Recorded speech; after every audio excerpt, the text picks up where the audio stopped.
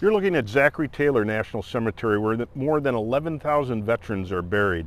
This year, a local organization has special plans to remember these veterans, and we at Brownsboro Hardware and Paint are going to be a part of that. My name's Jim Lair. This is Susan. Tell them about your organization and what we're going to do. Sure. Our organization is called Wreaths Across America, and on December 18th, across the nation, we uh, aim to put a wreath on every veteran's gravesite.